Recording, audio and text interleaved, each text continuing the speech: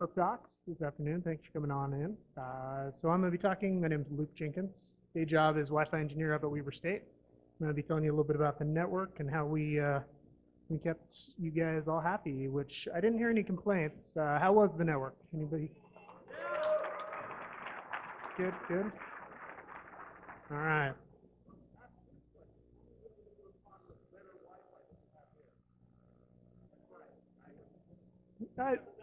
I think Saintcon last year was pretty good. Cisco Live the last couple of years, yes. A few years further back than that, uh, yeah, they're doing good these days though. I do my transitions. Great. Oh, because that was on my last slide. Look at that. I am a pro. Okay. So gear, uh, the AP's up on the screen or up on uh, everywhere, up on those poles. Were Cisco 3702s with the Halo or hyperlocation module and antenna. Uh, the extra ring around the outside, it's 32 directional antennas that do angle of arrival. We'll talk a little bit more about that in a bit. Uh, five Cisco 3650 Catalyst switches, nothing too special, just PoE plus uh, for that 30 watts of goodness. pfSense gateway, we were going to use a an ASA from Cisco uh, DSP pool size issue, so we just ended up going open source. Comcast Business was kind enough to donate a one gigabit per second circuit to the conference. And then, yes, thank you, thank you. Yay, Comcast Business. I don't know if they're still here, but thanks, guys. You are. And then these awesome uh, $7 per per mount mounts, which was previously the next slide, but these guys that uh, we threw together. Uh, so the tools we used, Ekahau Site Survey to do a predictive design. We had the floor maps from the, the venue, drew simulated walls, and drew the network that way. And that was more for determining which radios, which 2.4 gigahertz uh, radios we left on. Uh, we had 40 of the APs, and we had about nine or 10 that had 2.4 gigahertz radios turned on. So here in the ballroom, we have three, one on one, one on six, one on 11. Uh, and it was similar throughout the venue uh, because there are 22 non-overlapping channels we can use on 5 gigahertz, but there's only three non-overlapping channels on 2.4. Also the NetScout AirCheck G2 and then Wi-Fi Explorer Pro that I'm actually going to show you real quick. Live demos, these always go great, right? And that is quite the A chart. But uh, here you see a whole bunch of, sort by DSSID, the UVCC, Ballroom ABC, Lobby, uh, and this right, the, uh, they had on their 2.4 gigahertz radios uh, all of the data rates turned on, which is never good. Right there. So they have 1, 2, 5, 5, 6, 9, 11, 12, 18. So I would be this as a Wi-Fi engineer if I didn't preach to you the gospel of turning off the low data rates. So anybody who is involved with networking at all, please go home, check and look. Make sure you've got your old classic B data rates turned off, unless you have some barcode scanner or insulin pump you gotta support. So. Uh, but they, UVCC network is great for your smaller non-tech shows. Uh, you can hear learn about sewing machines. You, you just need some uh, some spare Wi-Fi, but uh, bring in 700 uh, security and IT professionals, each with a few devices, and expectations are a bit higher. So we brought in the gear. Uh, UVCC was kind enough to let us utilize their fiber and copper plants and their closets, which really made this all work. And we added a network on top of it. I'll picture the bracket there. And then here are the, uh, the guys in action in case you're not sitting right under one, doing a little bit extra RF there. Uh, and these were based loosely on the design from Cisco Live, as Josh said. They've stepped up their game in the last four or five years. And the ideas from them, uh, we had to modify it a bit to get the halos to the horizontal position they need to be in to function. But it's worked pretty good. And then the uh, poles and the, that's just pipe and drape pipes from the venue. They were kind enough to let us use those. So the, the hyperlocation antennas give us awesome pictures like these. Uh, so you'll recognize On your right is second floor. Those are the three ballrooms this morning when I was taking some screenshots. You can see track one wasn't quite as, as uh, happening as tracks two and three. And then you can see up on the fourth floor, uh, still, still action around, uh, out in the lobby there. And track four is going good and lots of people in the hardware hacking village. So it was, it was really useful for us to have these stats throughout the, the conference to be able to keep an eye on, huh, that track's not doing quite so hot. Let's, let's go see what it is and see what we can do to help them out. So this is what the week looked like. You can see we got uh, about uh, 850, 860 clients for peak yesterday right before lunch. And then we had some people uh, have a good lunch and not come back. Uh, but the other was badges being built and people slowly getting onto the network. So we, in total, unique devices connected to the network throughout the week, 1,632 devices. So that's uh, for 700 attendees. You know, it's pretty pretty good take rate. And uh, 471 of them were Espressif chips, which is the brand of the module on the Badger NGINX. So thank you, uh, Cisco, for lending us all the gear. We did quick napkin math, and it was uh, over $200,000 of gear that they lent us, um, let us use as part of their sponsorship. So thank you, Cisco.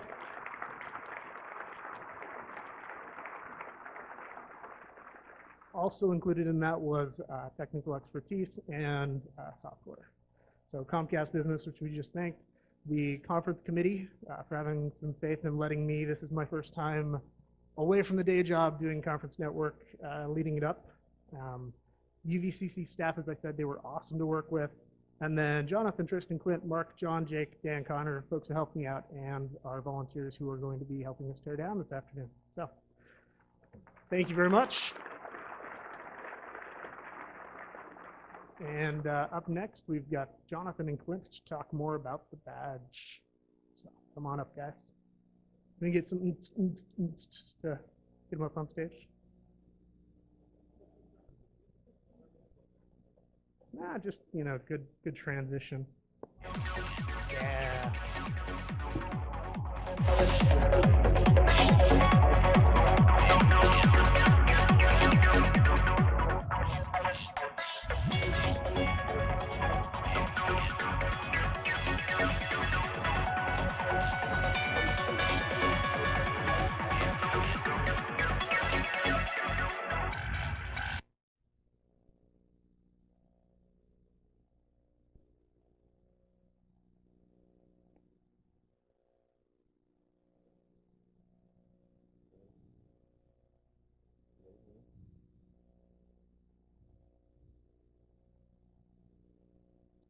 Uh, okay, there we go.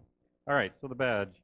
There's the link that's been in the Hardware Hacking Village, and uh, later we'll post the other link for the code uh, a little bit later once we looked at it. But um, so last year's badge, for those who remember, it was pre-built, had awesome 8-bit graphics and maps on there, courtesy of Klint and, and Dustin and folks.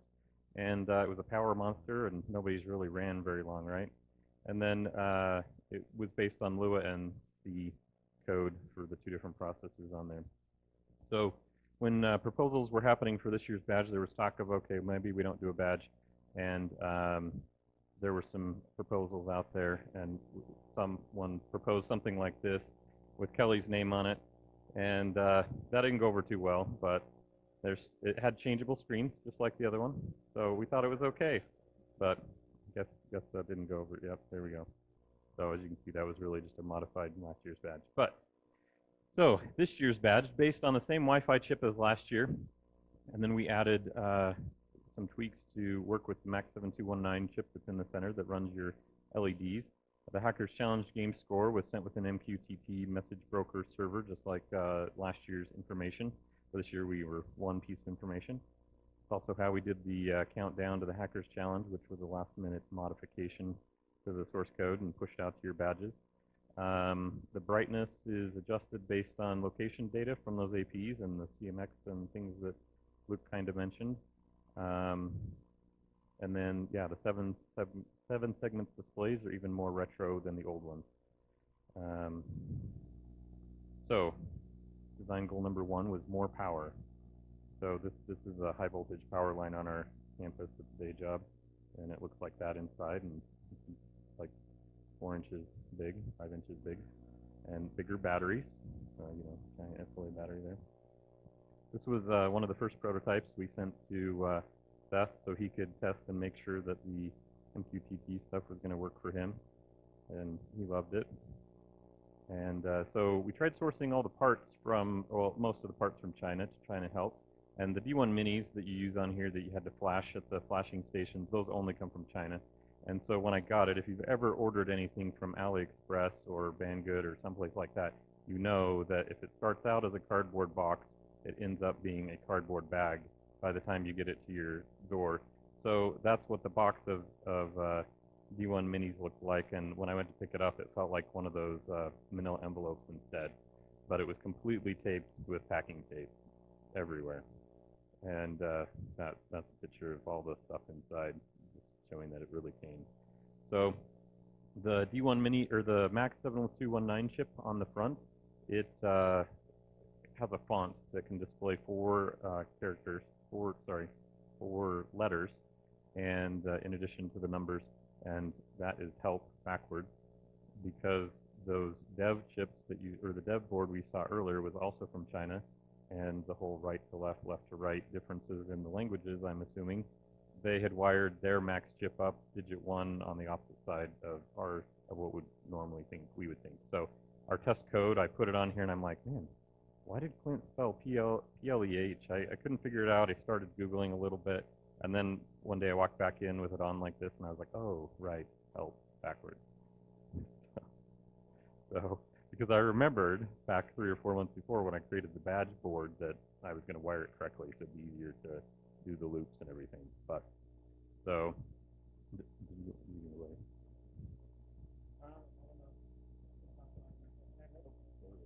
Hello? Can you hear me? Okay. So this is just some, when we were first writing the code, um, when it would reboot, it would start throwing random characters on the screen every time it would reboot. So it was saying a number, and then it would slowly just degrade. and so we figured out it was part of the sleep um, commands that were causing this to happen. So. As I said, tried to source all the parts from China. These Max 72, uh, 7219 chips are about five dollars a pop uh, when bought from Mouser, and uh, there was places on AliExpress that sold them for $1.25. And our our first uh, test batches were from there just to get our boards going.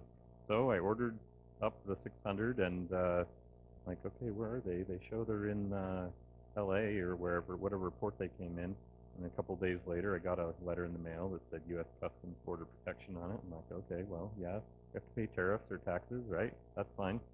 So open it up, and it says, oh, provide a trademark uh, release. And I'm like, oh, didn't think about that part. So, well, the seller's supposed to provide that, right? Seller wouldn't provide it, so we ended up having to source them from uh, uh, Mouser and get a refund from the seller. So I don't know if they ever made it back to the sellers, but who knows. So then the other part we ordered from uh, all the little discrete parts that you had in all your mini bags. You know, that took us forever to pack all those up. Not really. We we ordered those from uh, Tayda Electronics, uh, which they sell a lot of stuff on eBay and things. You can also just buy directly from their store. If you need any little parts, it's great to go there. There's a five dollar minimum order. But they, I asked them if they would package parts because when you order parts from them, they come in all the individual bags, kind of like this. They keep all of your resistors together, unlike they did here. But uh, as I was ordering, I said, hey, we need 615 packages that look like this, and that's how you got your little bag of stuff. And uh, they said, well, okay, what's your budget? And I said, no, no, give me a quote. And we went back and forth, and we, we got it worked out.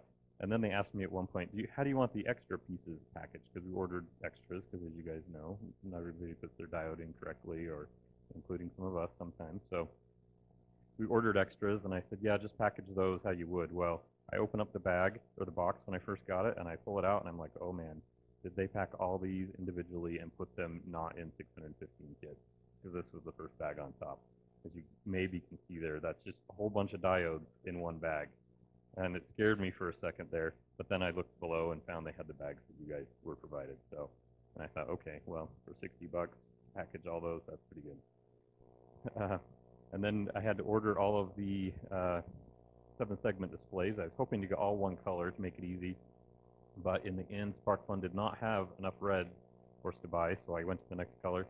That still didn't fulfill our order, so I went to the next color, and the very last colors were the white and the blue, because we didn't want to get too many blues around here. But uh, unfortunately, we had to get uh, a few of them. But it gave some diversity to everything and gave you guys choice, so it was fun. Um, and then uh, you guys all had fun hacking the badge because you all came in and did stuff, and various people have done lots of fun things with it. Um, I guess any questions? Got plenty of time, I think. No questions, not that I can see anybody. And uh, thanks to the guys at the Hardware Hacking Village for helping everyone build the badges. Yeah, Great. Alan, Alan. Yep. Okay.